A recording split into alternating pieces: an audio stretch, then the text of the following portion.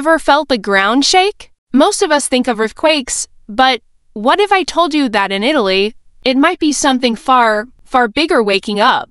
We're not talking about Vesuvius, the famous destroyer of Pompeii. We're talking about its much larger, much more powerful neighbor, a supervolcano hiding in plain sight.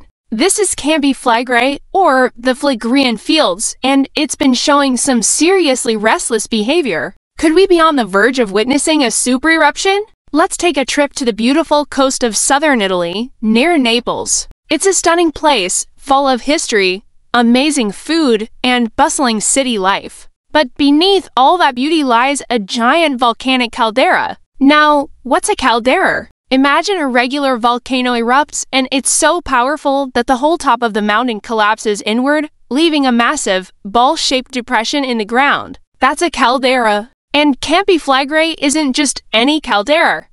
It's a supervolcano, one of the most dangerous in the world. The last time this giant truly flexed its muscles was about 40,000 years ago, in an event so massive it plunged Europe into a volcanic winter and may have contributed to the decline of the Neanderthals. It was a continent-altering event. Since then, it's had smaller eruptions, with the most recent one being in 1538, which was still powerful enough to create a whole new mountain, Monte Nuovo in just one week. So this isn't some ancient, dead volcano, it's very much alive. For the past 70 years, Campi Flegrei has been in a state of what scientists call unrest. The ground has been swelling and sinking in a phenomenon known as bradyseism.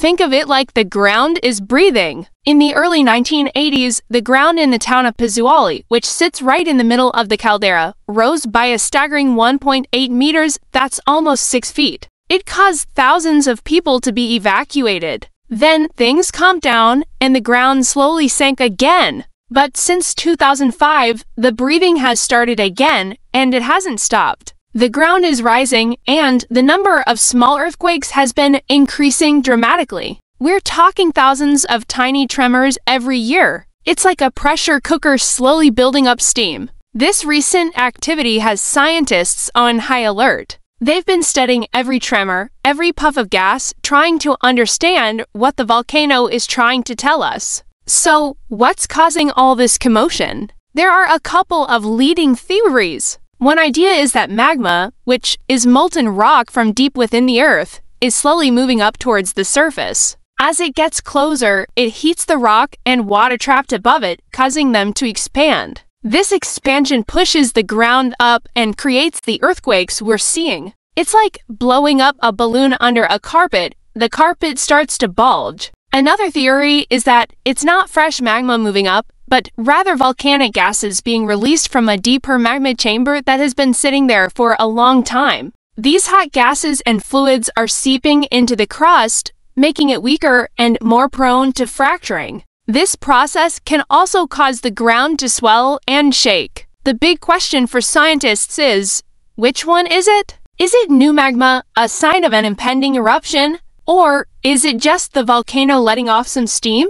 To figure this out, scientists have turned the entire area into a massive natural laboratory. They use GPS stations to measure the ground movement down to the millimeter. They analyze gases coming out of vents called fumaroles to check their chemical composition. They use seismometers to listen to the rumbles deep underground, creating a 3D map of the volcano's plumbing system. It's like being a doctor for a giant, sleeping patient, constantly checking its vital signs. A recent groundbreaking study looked at the physical properties of the rock itself. The researchers analyzed data from earthquakes and ground uplift and concluded that the crust above the magma chamber is becoming weaker. For decades, the ground would rise and fall, sort of stretching and relaxing. But now, it seems the crust isn't as elastic as it used to be. It's being stretched to its breaking point. Think of it like bending a plastic ruler back and forth. At first, it's flexible and just bends.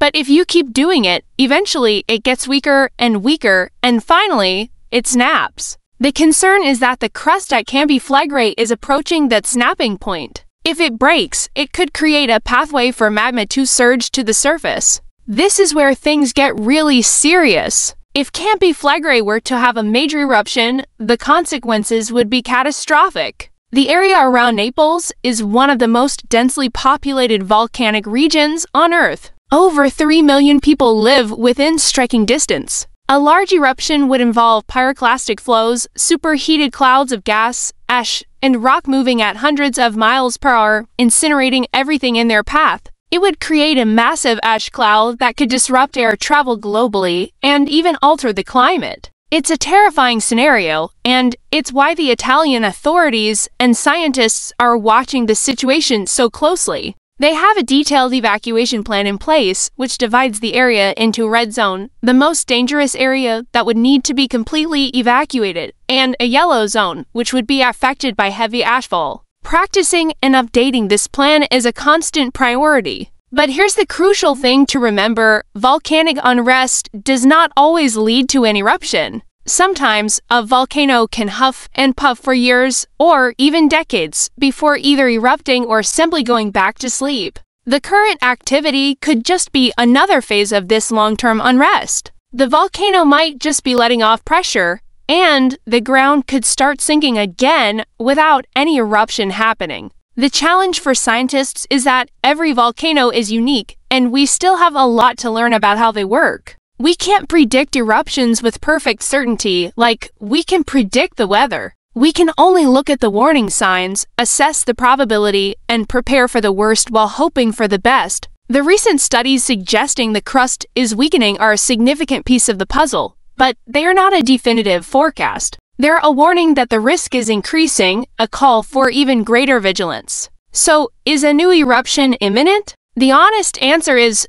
nobody knows for sure. The signs are worrying, and the volcano is clearly in a very dynamic and critical state. It has moved from a state of elastic deformation to one where fractures are more likely. This means the situation is more dangerous now than it has been in decades. It could erupt in the near future, or it could quiet down again. What we do know is that the scientific community is doing everything in its power to monitor, understand, and provide timely warnings. For the people living in the shadow of this sleeping giant, life goes on, but with an underlying awareness of the power rumbling beneath their feet. It's a stark reminder of the immense forces of nature that shape our planet and our lives. Thanks for joining me on this deep dive into one of the world's most fascinating and dangerous volcanoes. It's a complex story with no easy answers, but one that's crucial to follow. If you found this interesting, don't forget to hit that like button, subscribe to the channel, and ring the bell so you don't miss our next exploration into the wonders and dangers of our world. Stay curious, stay safe, and see you in the next video.